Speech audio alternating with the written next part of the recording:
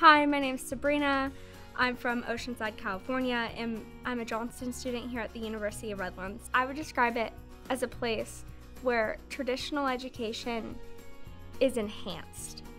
It's not this rigid structure of a traditional degree program. It allows for this flexibility where an individual can take their interest, bring them to their teachers, and help mold a curriculum that best benefits them in order to not only enhance their inner well being, but also enhance their community well being.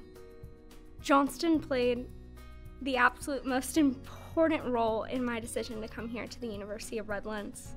Um, similar to my emphasis, I'm really passionate about an educational experience that inspires an individual to do something different with their life. And Johnston is the place where an individual can make a difference. Johnston has impacted my entire experience so far here at the University of Redlands.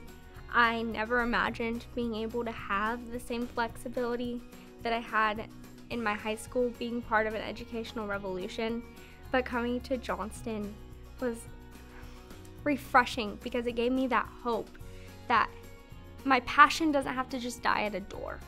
And so I think Johnston in particular has taught me the value of really engaging my time in what I'm most interested in and providing support to my others, but keeping a balance. And I think that's really hard for young students and also for activists and anyone who's trying to make a difference.